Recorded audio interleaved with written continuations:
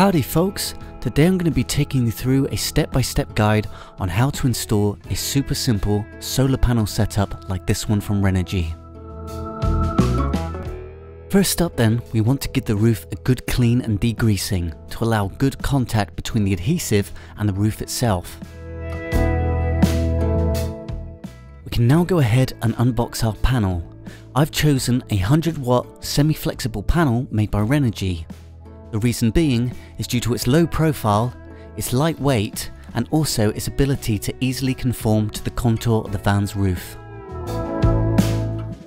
I'm now going to measure and mark where the adhesive bars need to be applied to the panel. Panels such as this need good airflow to prevent them from overheating. To do this I'm going to account for a gap to allow for that airflow. So I'm going to measure across the width every 20 to 30 centimeters and then again I'm going to measure across the sides but allow for a 5cm gap across every bar.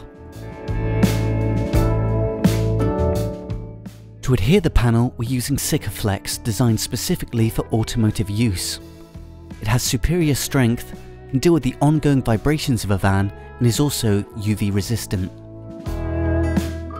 Using our marks from earlier, we can apply a bead that's around 5mm thick. Once done, you can go ahead and place the solar panel on the roof in your desired position. Apply a little pressure all the way around without being over excessive. We then want to go ahead and apply some adhesive on the windward side of the panel. This is to give it a little extra protection and I've used some painter's tape to give it a nice clean finish. Next we'll need to run our cables through and for this you can buy purpose-built cable entry housing. We're going to be using the roof rack to give a slightly stealthier look, and I'm going to install some of these cable entry bolts instead.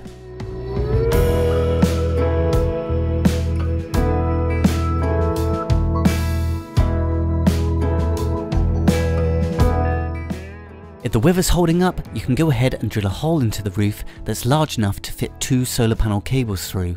You can then go ahead and apply some red oxide around this newly cut edge to prevent it from rusting later down the line.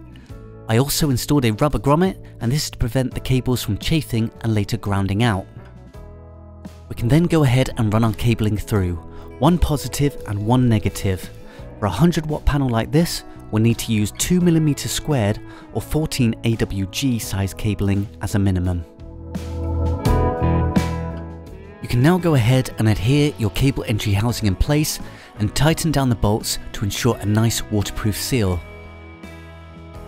Solar panels use what are known as MC4 connectors. As well as these, we'll also need to go ahead and install an inline fuse just like this one. The MC4 connectors come with a few different parts. Here for example, we have a female connector which uses the smaller pin and goes on the positive cable. The male connector uses the larger pin and will be installed on the negative cable.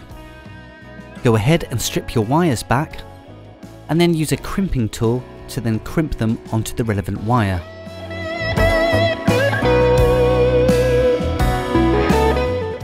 The MC4 connector can then be disassembled, placed onto the wire and reassembled as shown. As the MC4 connectors are already provided on the solar panel, we only need to perform this task once to the cables that we place through the cable entry housing. For this 100 watt panel, we need a 10 amp inline fuse. If your panel differs, you'll need to take the amperage, times it by 1.25 and then round this number up to the nearest size fuse. We can now take the positive cable from our solar panel, which usually has the male connector, clip it into the inline fuse and then connect that to the positive cable coming from the cable entry housing. We'll do the same with the negative cable which normally has the female connector and connect this to our other cable. To finish it off, we use some cable mounts, cable ties and some adhesive to hold the wiring in place.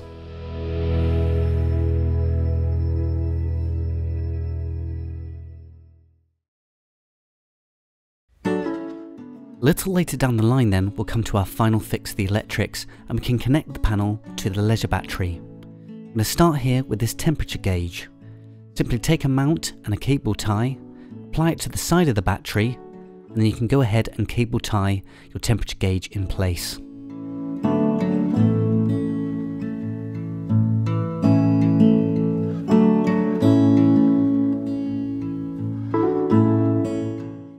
Next up, we'll want to install a positive and negative cable onto the lugs of our leisure battery. This will later be connected to our solar charge controller, which will manage the amount of electricity coming from the panel down to the battery. I'm going to use a Renogy Rover 20 amp MPPT solar charge controller for this installation.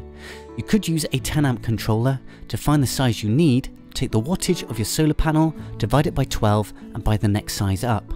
I chose this size as MPPT charge controllers are more efficient than PWM and this was the smallest size available. I can now go ahead and install the mounts simply by screwing them in place.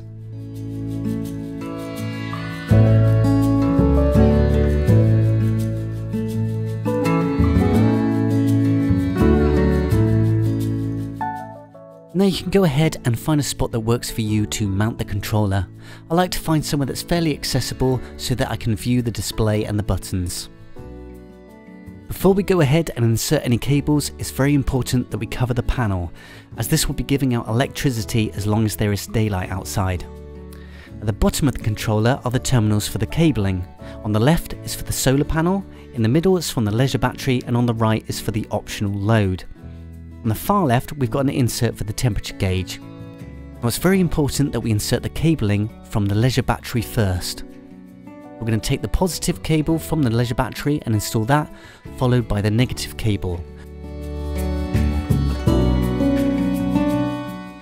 We can then go ahead and install the cabling from the solar panel. I've chosen not to use the optional load in this installation, but I will insert the temperature gauge. You should hopefully now be able to see some life coming through your solar charge controller. This means that the installation is complete and you're ready to camp off-grid. I hope this video was helpful to some of you. I'll leave a link in the description for all the items that I use, but I hope to see you on another video soon and happy travels.